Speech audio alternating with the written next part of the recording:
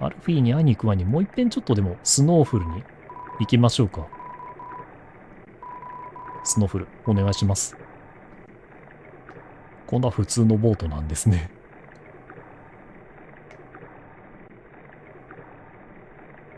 タリラリラ。テミー村はどこにある？テミー村もしばらく行ってないな。お店のテミーの学費を払ってあげてもいいかもしれんけど、持ち合わせが足りるだろうか？またどうぞ。ありがとう。619ゴールドしかないから、学費は払いきれんな。とりあえず、戻ってきたぜ。まだやっぱここで 待っているんですね。あ、貴様か。もうすぐ行っちゃうんだよね。でもさよならなんて言わせない。おじさまの町じゃさよなら禁止。またねと言ってお別れしよう。だよな。来たな、調子はどうだ？アクションパビルス、お前こんなに寒いのによく平気だな。皮膚がないからね。こんなとこに突っ立ってないでグリルビーズでも行かないか。脂っかいもの嫌いだもん。胃袋ないくせに贅沢言うな。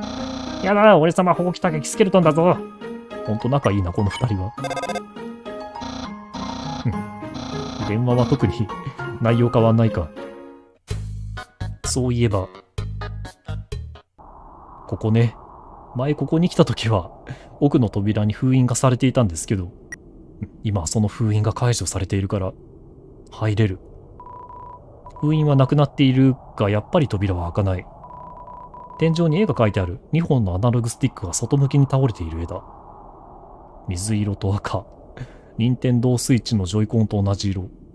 このスティックを外向きに倒す。これで開くんですね。持ち物は大丈夫かな？これは、可愛らしいフィギュア。怪しげなフィギュアだ。一体なんでこんなところに？調べてみる。まあ、はい。フィギュアに睨み返された。可愛い顔で、フィギュアがある。唐突に戦闘が始まりましたけど、ミュウミュウフィギュア。ミュウミュウ。等身大のフィギュア、使い道は謎だ。こちらを睨みつけている。睨みつけているっていう目つきではないけどね。逃がす。ことはできない。睨まれて、逃が、あの、逃げることができない。じゃ、触る。耳の後ろを優しく書いてやった。こちょこちょ。ん？一瞬何かガシッと動きましたけどね。もう一丁。今、フィギュアが笑ったような、笑う。三度目。やめろもういいたくさんだ怒った。初対面の相手をベタベタ触るとはとんだ常識知らずね。いきなり怖い顔になってる。絶対に触ってはならん。だってくすぐったいもん。あ、貴様、俺が誰だかわからないのか。ほう。その方がいいかも、ミュウ。だってだって、この完璧な体と一つになれたら、新しい素敵な人生が始まるんだ、ミュウ。キャラがよくわからん。だがどんなに懸命に試みても、なぜか一つになれぬのだ。俺の感情に雑念が混ざっているせいだ。もっと緊迫した熱いバトルが必要なんだ。俺の混じり気のない怒りの感情を引き出すのだ。何を言ってるのか。そうだ。おい、人間。俺と戦え。バトル、流血、無差別殺戮。唐突にバトルが始まってまたいつもと違うハートの形になりましたけど、スイッチの方、L スティック、R スティックに応じた動きになってるんですね。これぞパーフェクトな感情のトリプルコンボ。これで新しい体と一つになれるミュー。それでそれで、おニューのスペシャル技で、このバトルを最高に盛り上げてやるぞ。とりあえず、スイッチのスティックをうまく操作して、降ってくる障害物を避けないといけない。睨む顔をして、そのままこちらを向いた。この動作柄しても、こいつに取り付いているのを、地下のゴミ捨て場にいた、マネキンに取り付いてたあいつですよね。うんすがってついてるぐらいですし。ミュウミュウ2激おこミュウミュウの逆襲。俺がこの肉体をどこで手に入れたか。気になるか知りたいかあははは。いいよ、教えてあげる。教えてくれない。左右に分かれるか、まあ、普通に左右にそのまま動くこともできそうですけど、取れそうな頭を付け直した。意外と脆い。話しかけたら会話弾まないか。この肉体はな、ある不思議な場所で見つけたのだ。それはなんとも科学的な場所だった。アルフィーの研究所だよな、多分。明らかにこれはアルフィーの私物でしょうから。その動き好きだな、本当に。睨み顔。いくら話しても効果はないんですかね。あそこで何が行われていたのかそれはわからないが、このネクタイを見た瞬間、俺は悟った。これは俺だ俺だ俺なのだと、こんな可愛らしいフィギュアが。ゴーストの趣味はよくわからん。はい。青は青にちゃんと重ねてないとダメなんですかね。普通に逃がすこともやっぱりできない。だからこの体を乗っ取った誰が俺を責められよう。そもそも科学者が美少女の等身大フィギュアに何をする気だった目の保養だったんじゃないのアルフィーの趣味なんだからそっとしといてやってくれよ。まだまあ落ち着けばダメージ受けずに済んでますけどね。回復も今のところは必要がない。俺はきっとこのフィギュアを恐るべき実験から救ったに違いない。恐るべき実験。俺はフィギュアを救い同時に自らを救ったのだ。自分も取り付ける体を見つけて喜んではいるみたいだけども。はい。もうちょっとなんか選んだ方が良かったんじゃないのか。ブンスカミュウミュウが猛烈にミュウミュウと鳴く。ゴーストの声でかく。そしてこの新たな肉体とともに、まあ、ニュウの人生を歩むんだ、ミュウ。弾幕飛ばしてきよった。新たな人生。玉が可愛くなっとるけど。全然当たってねえぞ。猛烈にミュウミュウ鳴くか。ついにようやく、ようやく俺は、これまでと同じくアンダイン用の訓練用マネキンとして活躍するのだ。そこは変わらないんだね。より優秀なマネキンとしてさ、すごいなんか可愛いフィギュアだからぶん殴ったりするのに抵抗があると思うんだけどね。アンダインもアンダインで意外とこういう可愛いの好きだしね。こんな上下にも動けるようになりましたけど、難易度上がってきてるな。ああ、アンダイン。過激で可愛いアンダイン。この姿を見たらどんな顔するかな？楽しみだ、ミュウ。アンダインのことか。こいつは好きだったのか？あのアンダインだな。まあ、アルフィーからもモテてはいるし、元気いっぱいの高い声がミュウミュウの胸から大音量で流れた。スピーカー内蔵なのか。槍を雨降荒れと降らせて攻撃してくるんだろうな。槍がいっぱい刺さったら世界一のピンクッションになっちゃうよ。そういう性癖なのかな、こいつは。ブンスガ君は。はい。これでいい？香水とオタクの匂いがする。オタクの匂いまさか、さまその顔は、アンダインにはもう、き合ってる子がいるのか。アルフィーとまあ、うん、デートしようとはしてましたからね。残念だったな、ブンスカ。オタクの匂いか。顔がなんか表情がすごい暗いけど、大丈夫？ゲームの逆襲。そうか、彼女はもうすでに誰かのものか。ならば、どうしてやるか言うまでもない。俺は祝福する。二人を祝福してやる。よかったな。末永くお幸せに。本当に祝ってんのかよ、こいつは。顔が凶悪すぎるんだけど。くそ、もういい。たくさんだ。なぜまだ肉体と一つになれんのだ。こうなったら全力を出すしかないのか。全力、出されると困るんだけどな。まだ一発も食らってないと。食らったわ。言ってるそばから。では、これでどうだはい、はい、した。別れて。落ち着いてよく見れば、まだなんとかなる。もういい。たくさんだ。何回言うんだよ、そのセリフ。なぜにダメなのだ俺はこんなにも怒っている。俺はこんなにも戦っている。なのになぜこの体と一つになれんのだどうして俺は何を間違えているプンスカミュウミは話を聞いてくれそうだ。ここでやっとか。どうしたの怒りだけが正解とは限らない。喜怒哀楽。感情は怒りだけじゃないしね。つまりそれは、他の感情も試せということか。例えば、ラブとか？そうか、それなら。つってもな、失恋したばっかりだから。いいだろう、さあ人間を好きにしろ教えて教えて、ラブってなーに？ラブを教えるにはどうすればいい？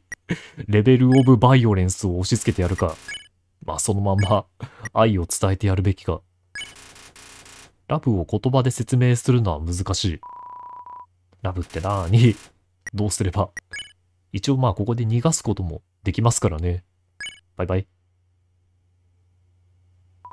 え、そんな、なんて優しいんだ。感じる。何かを感じるぞ。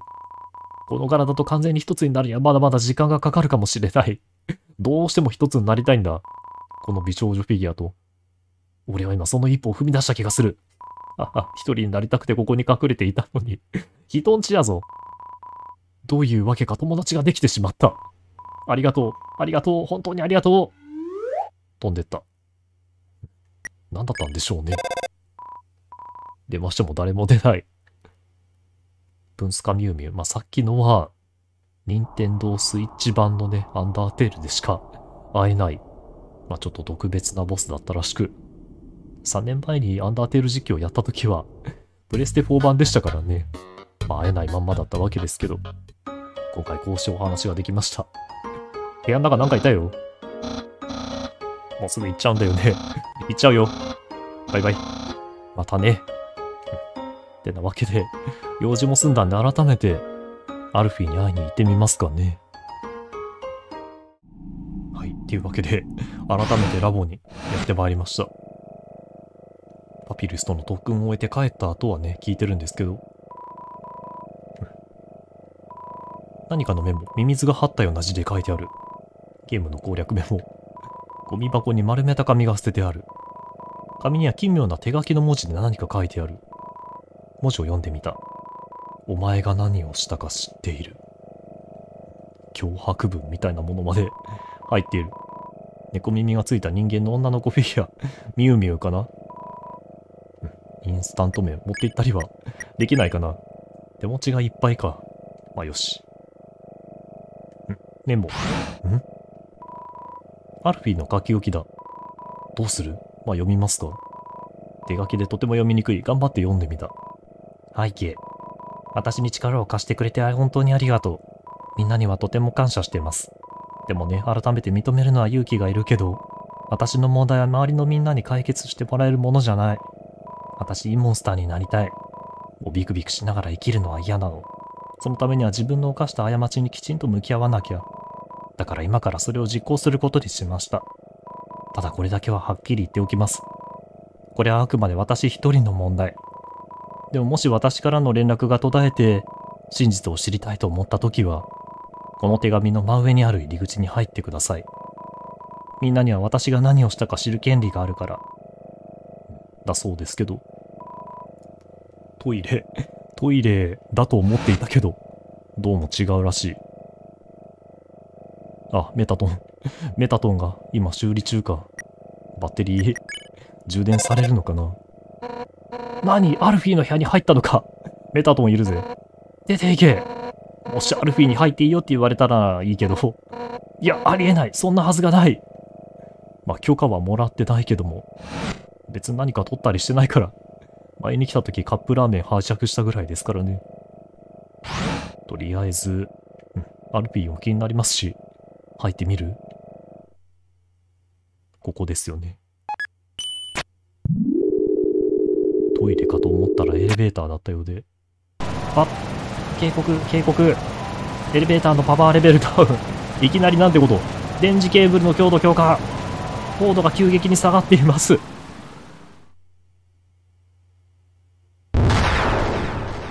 大惨事。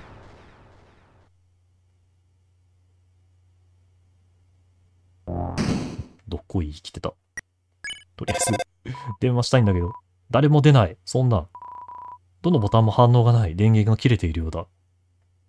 こっから進むしかないんですね。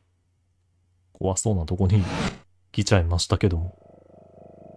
ここは、ナンバーワン。ついに王の依頼を実行する時が来た。私は国民たちを解放する力を生み出す。私は魂の力を解き放つ。ナンバー2。バリアは魂のエネルギーで封印されている。このエネルギーは人工的に作り出すことができない。魂のエネルギーは命あるものの亡骸からしか抽出できない。つまり新たに作るには、この世界に存在するものを利用するしかないのだ。すなわちモンスターの魂で代用するより他ない。まあ、バリアを破るための研究をしていたんですかね。生きたモンスターから魂を抽出するには凄まじいパワーが必要。無論魂を抜いた瞬間本体が死亡するのは言うまでもない。また人間の魂は体の外へ出ても存在し続けるが、多くのモンスターの魂は死ぬとすぐに消えてしまう。モンスターの魂を消滅させない方法さえ見つかれば、バリアを破るためのエネルギーが得られるかもしれない。4が飛んで5。ついにやった。完成した装置を使い人間の魂からある要素を抽出した。人間が死んだ後も魂が消えないのはその要素のおかげだ。生き続けたいという意志、運命を変えたいという強い気持ち。私はこの力を決意と呼ぶことにした。たびたびこの子もみなぎらせていたあの決意。その研究が行われていたらしいんだけど、BGM からして怖すぎる。ここでセーブはできるんですね。真実のラボ。これは、ポテトチップス、あ、帰る。これ以上アイテム持てない。手持ちがいっぱいか。回復アイテムなくなったら、買っておきましょうかね。メモが落ちている。うん。エレベーター停止。真ん中のドアへ。真ん中のドアがでも今、開いてない。電源ルーム。ここで復旧ができない。こっちも開かないとなると、左に進むしかないですよね。ナンバー6。今日は国民全員に動かなくなったモンスターを差し出すようお触れを出した。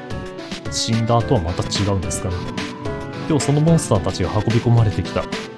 今はまだ意識のない体が存在するけれどすぐに塵になってしまう。でもその前に決意を注入したら、死んだ後も魂を消滅させない方法が見つかれば、私たちが自由になる日は思ったより早く訪れるかもしれない。もうすぐ死のうとしているモンスターを使って実験しようとしていたんですかね。問題発生。モンスターたちの体が塵にならなくて魂が手に入らない。お葬式用に塵は返すって約束したのに、遺族からどうなってるんだって問い合わせが来てる。どうしよう。うまくいってなかったんですかね。ベタベタしている。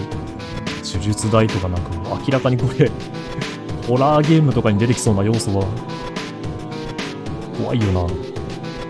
自分はホラーあんまり得意ではない。蛇口をひねった。うん。水が出るだけ。蛇口をひねった。白い水。じゃない。怖いのが出てきてしまった。んガニジで寄ってきた。名前がわからない。A, B, C。よくわからんモンスターですけど、まずは分析。データなし。分析のしようがない。何喋ってるかもわからん。今までのモンスターとは全然、系統の違うような認めですけど、誰も来なかった。これ以上増えられたら困る。うーん、アイテム。これ以上持てない。手持ちいっぱいだからね。顔が浮き出てくるから、何にもないところに移動しておかないと、食らっちゃいますかね。じゃあ、ステータス。攻撃22の防御25。一応そこだけは分析できたんだね。はい。落ち着いて、浮き出ないところに寄っておかないといけないから。これがダメなら、ポン電話受話器から声がする。君もおいでよ。言葉がやっと分かったけど、おいでよって言われたって、食らっちゃうでしょ。まだ耐えられるけども。メモリーヘッド。断るか仲間に加わるか。こいつらの仲間には加わりたくないかな。それは残念。ひたすらまあ攻撃を受けるしか今できることはないんですけども。このまんまだとちょっと危なくない？もう戦うつもりはないようだ。逃がしてくれる。勝てたけど何も得られていない。シンクの中に赤い鍵がある。鍵を拾ってキーホルダーに取り付けた。これでさっきの電源ルームの扉が開きますかね。いっぺん戻ってこの鍵を試しに行きますか。ついでに回復も。こっちだったっけ？まだダメ。別のところで鍵使わないとダメなのか。じゃない。怖いけど、まだ奥に進まないといけないっすね。